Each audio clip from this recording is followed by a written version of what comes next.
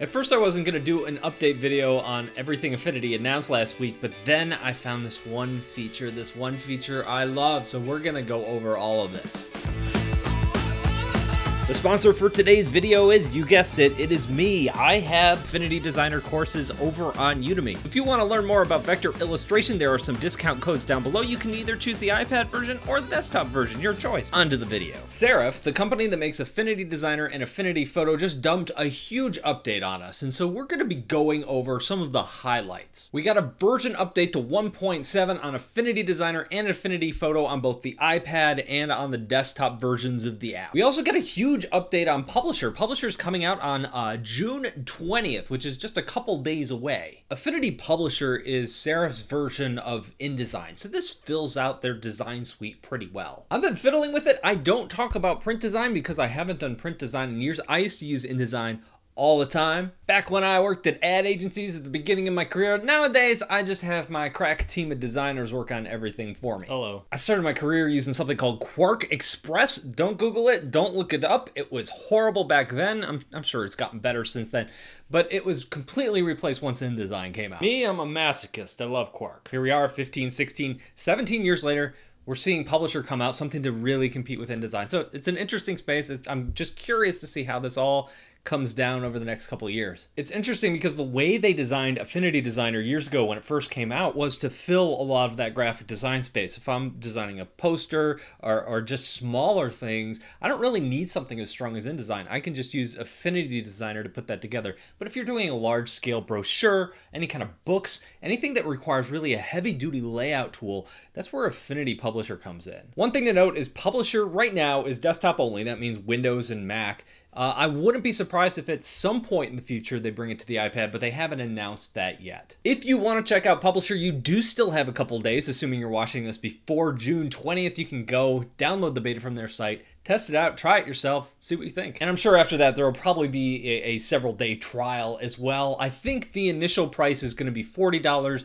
The normal price is $50, just like all of the other Affinity designer affinity photo, that sort of thing. And also, this is you buy it and you own it. You're not renting it. You're not just borrowing it for a period of time. You own it once you pay for it. It's great. So old school. So what's Serif got to work on next? That's a great question. Will we see video apps? Will we see something that goes after After Effects so they can continue to go down this road of creating more and more apps to fill out everything else that Adobe's doing, or are they going to stay within kind of the design publishing arena? It, will be interesting to see. So when are you getting to this thing about your favorite feature? Hold your chunks, I'm getting there. Nobody says that. Hold your chunks? Nope, not a phrase, dude. Okay, geez. So what is new in Affinity Photo 1.7? A lot of it's under the hood performance updates. These kinds of things don't always look good in a press release, but they're super important. And I love these kind of updates because they're putting the core experience, which is the speed and the performance of the app, above just dumping more features in it for the sake of throwing more features in there. Massive performance increase with full end-to-end metal acceleration, eGPU compatible performance scales, at least 2x faster loading with raw files, huge macro and batch processing improvements. Now the big thing that got a lot of attention when this was announced last week was the HDR support that they've now built into the app, at least the desktop versions of the app. Probably because this was announced on the same day or maybe it was the day after Apple announced their brand new fancy pants monitor. And and no, no, I'm not going to be reviewing that. I can't afford the stand. We got a lot of new tweaks. Let me read them here. We got PSD import export improvements. We've got a more efficient noise reduction, symmetry tools up to 32 ways. I'm not sure if all the symmetry tools are new or if it's just the fact that they've added to that and it can now split up in different directions. But either way, it's it's kind of fun to play with and you can't make anything ugly when you goof around with it. New procedural texture and Voronoi filter effects. If I pronounce that right, I get a cookie. Alternative futures for document history, that sounds very science fictiony. And last, uh, better support for TIFF files. Who doesn't want that? I could read this whole thing, but nothing really jumped out at me as something that I would absolutely need that I use on a daily basis. Most of these are just small quality of life improvements. What, you don't care anymore about HEIF image imports? I don't even know what that is, but but my point is is it's great to have this stuff in here. There was one thing that I thought was kind of cool and that is something called sub brushes and that's the ability to add a secondary texture to any brush. You can double click on any brush and then go to the sub brushes tab. Here you can upload any image your heart desires to be used as a second texture to your brush. For example, I'm just going to grab this screenshot of my website and I'll increase the brush size so you can see it. Voila. Thank you. This has been another episode of Brad Makes Horrifically Ugly Brushes, starring Kiefer Sutherland. On to Affinity Designer. We're getting arrowheads. Arrowheads, people! We're also getting the HDR, EDR, you know, improvements that we're seeing on the desktop in photo as well. Some node tool improvements, the ability to make multiple strokes and fills on a single shape, PSD import export improvements, also the subpixel brush that we saw on photo just a couple minutes ago, and also 32 point symmetry, just like photo. Really interesting to see a lot of these updates kind of come across apps. It's, it's actually probably a good idea. How often have we seen Adobe roll out something for Photoshop and you think, man,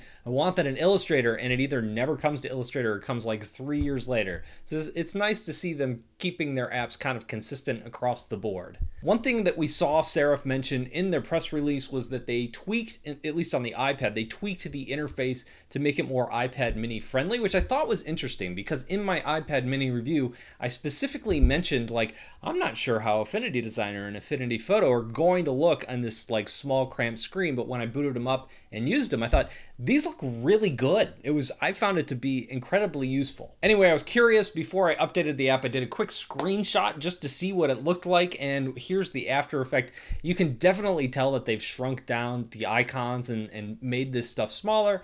It, it doesn't really affect the usability too much. I did notice that it seems really, really small when you blow it up to the large iPad Pro screen, but I'm using the Apple Pencil for the most part to navigate around there, so didn't affect me too much. There were two things in Affinity Designer that I was kind of hoping for. The very first one is the ability to expand an object. Like if, if you've got a shape and you want to make that shape bigger, you can expand on the outside of it. This is something I used to use a lot because if I wanted to outline my characters to be a little bit thicker than the inside lines that I was using, I just kind of boosted out, expand out the shape itself. Uh, so I'd love to see that feature added to Affinity Designer, maybe in the next big update. Yeah, but what about raster tracing? Yeah, that's the other thing. Uh, Adobe Illustrator has a feature called Live Trace, and what it does is it allows you to take a raster image, a bitmapped image, and actually turn it into a vector image. And for a lot of people, that is so core to their workflow. And I've seen comments here on this channel when I talk about Affinity Designer, they say, hey, if they add a Live Trace feature, I will make the jump in a minute. But until they do,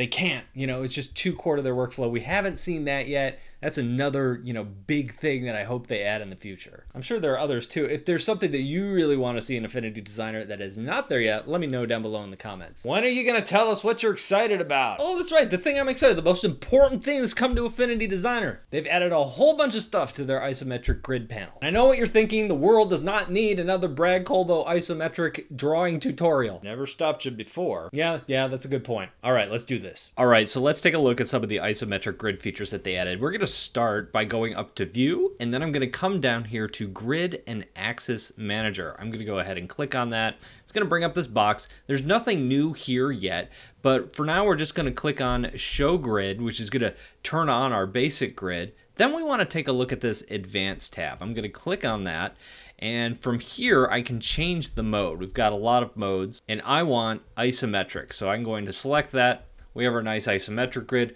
We could always come in here and change it. We could make the grid bigger, smaller, whatever. But what we want to take a look at is this checkbox right here that says create plane set. I don't know why it's checked for me, but if I uncheck it and then I check it again, it's going to open up this panel here, this isometric panel.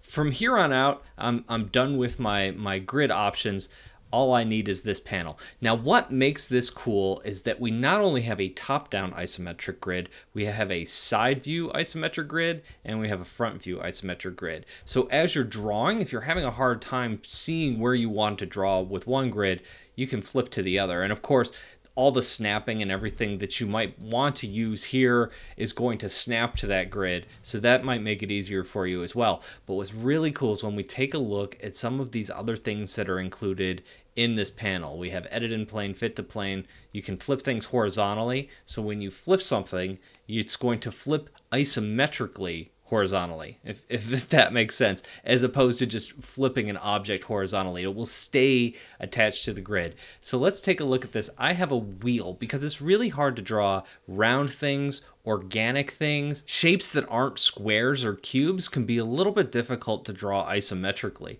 And so what you can do is you can take something like this wheel, something round or something with a lot of round elements in it. And when I click fit to plane, what happens?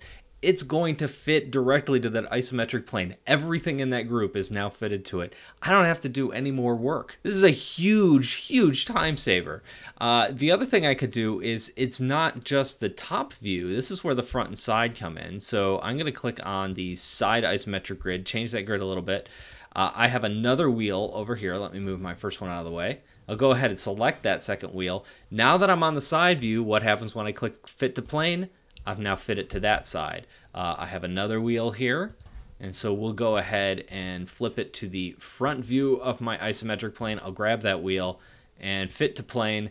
Now my wheel's facing that way. So this is so much easier and so much faster to build isometric drawings in Affinity Designer than it was before. It is infinitely easier to do this in Affinity Designer than it is in Adobe Illustrator. A couple years ago, I did this isometric image uh, with all these buildings, and it took me forever. And if I had some of the tools then that Affinity Designer has, if I had those now, it would have saved me so much time. I could turn all the windows into symbols and all the people into symbols, and I could I could just draw it so much faster, and the cars and everything. Oh my gosh, it would have gone so much faster. So anyway, that is my favorite feature right here in Affinity Designer is just just this nice little isometric panel. Yeah, I might have to do another full tutorial on this. They're, it's just so cool. Anyway, let me know what you think down below in the comment section. Thank you guys for watching. I'll see you in a couple of days.